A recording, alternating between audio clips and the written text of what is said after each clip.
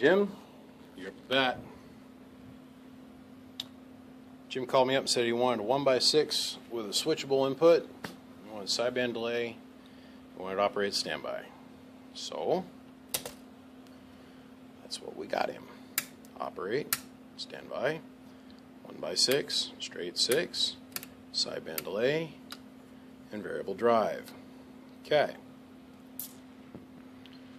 EPD 100 amp continuous duty transformer or 200 amp surge at 50% duty cycle transformer going into 1, 2, 3, 4, 5, 6 50 amp bridges coming out and going across 1, 2, 3 electrolytic caps coming out going through our distribution bar going through our blocking chokes going to our output transformers we got this lead coming around and going to our output transformer for our driver.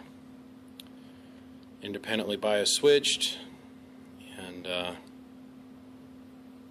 there's a lot of stuff stuffed in a little cabinet. Voltage regulated fans, so no matter what, the fans will always turn at the same rate. Of course, ground lug and Bakelite connectors, not the Teflon gold coated ones that get hot and melt and then fall out and short on the inside of the cabinet. Yeah. Use the plastic that doesn't melt for the connector that gets hot. Gold's pretty, Bakelite better. Okay. Today we're going to use the 66B and the Stryker 955 HP. 1000 watt slug, 5 watt slug in reverse. We're going to work in 1X to start out with in PEP mode on, operate, straight six, no sideband delay. So 20 watts worth of drive, hello audio, hello audio. So 20 watts worth of drive, we're getting 600 watts out of that, Jim. 2 watt dead key.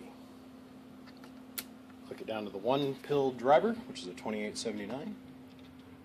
Hello easily lays it over in the corner. Put that up in 2x. So now, remember, 1,000 watts is right here to 50, right? We're to go tickle the 1,200 watt mark with 20 watts worth of input drive. Easily gets there. Please note the variable's all the way down. This is how sensitive this radio is. We turn this dead key all the way up. Remember, this is a 2 watt input drive dead key, Jim. Don't be deceived. We're going to go over here and we're going to go to the 1000 watt mark. So full deflection on the meter is 1000 watts. It's a 700 watt dead mall I just threw with a 1x6. Everybody else's would have been coming apart. Oh, oh, can't handle it, falling apart all the way down, 2 watt dead key.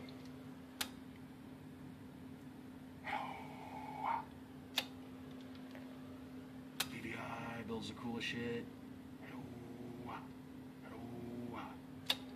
Is the variable all the way down. Let's jump over to the 955 HP. We'll be right back.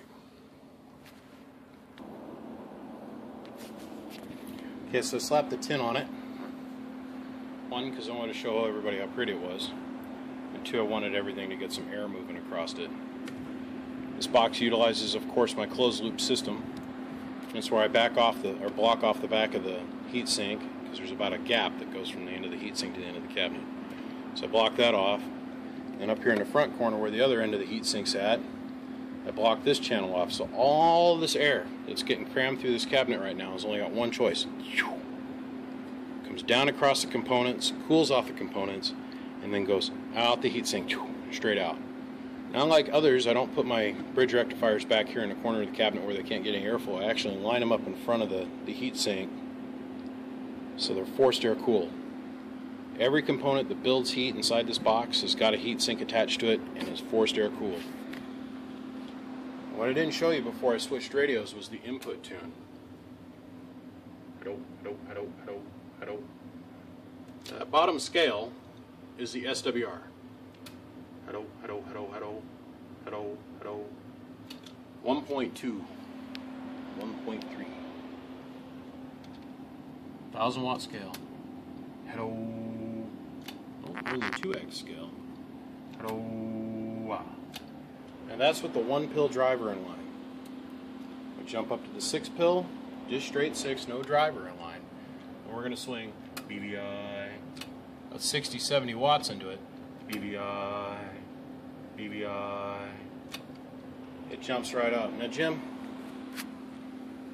I hook my two pill up to this, and I slammed a whole lot of wattage into it because you're talking about using a a certain kind of radio. It's got maybe a little bit more output, like 200 watts worth of output power into this. It handled it just fine. It produced about 14 and some change, 15 and some change. And please note, we're running on the lowest voltage tap. And you being an electrical guy, you'll know what this means. This is the code to everything. Your other tap wires are right here. Jim, I'm proud of it. It's amp number 1387, and it's all yours.